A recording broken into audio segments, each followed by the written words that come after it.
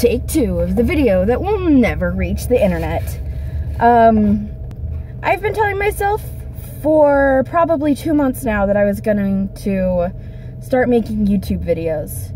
That, and I have a whole list of ideas. And I was waiting until I moved into my own apartment. And now that I've finally done that, I've put it off. And it's been about two weeks. And today I said, okay, you know what? You don't have to do a big, amazing thing. You can just film a crappy video in your car talking because that's starting things. So, some basic things to know about me. One, I'm a Mormon. I have depression, I have ADHD, and I have a dog. I feel like those are vital points to my personality.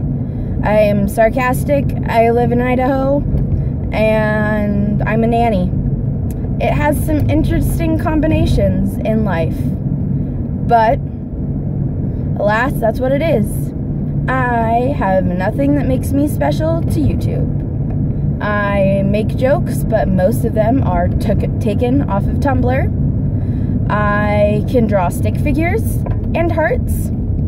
And I have zero animation talent and a budget for anything of about this much, including my groceries.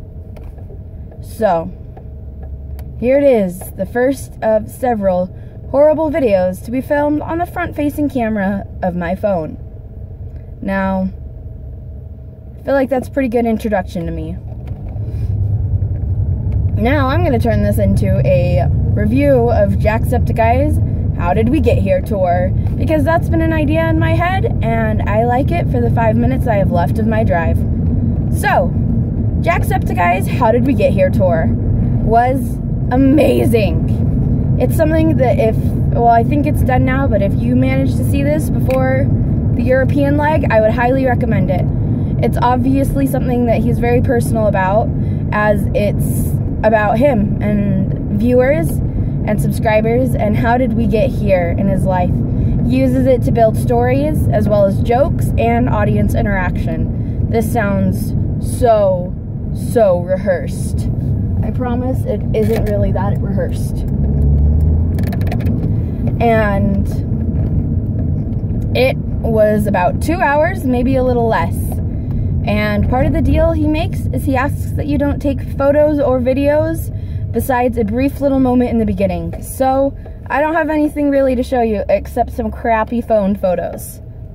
With that being said, I would highly recommend it. If you like being inspired, if you like laughing, or if you generally like supporting Jacksepticeye, it is something that is awesome to do. I would highly recommend it. I went with my little brother, my best friend, her little sister, and another friend of mine. And we spent the day.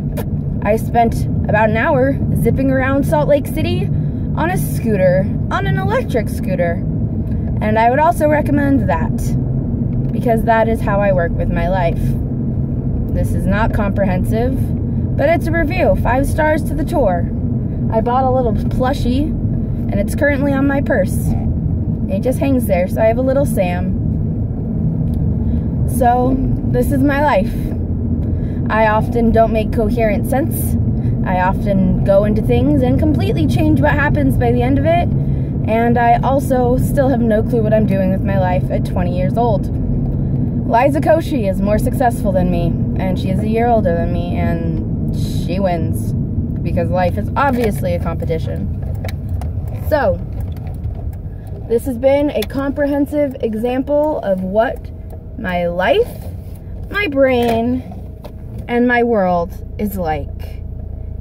I also have curly hair. You can't really tell with this afro I've got going on. I recently shaved it for a little girl with leukemia. That being said, I have arrived at work. And I also have nothing left to say. So, peace out. I'll tell stories later.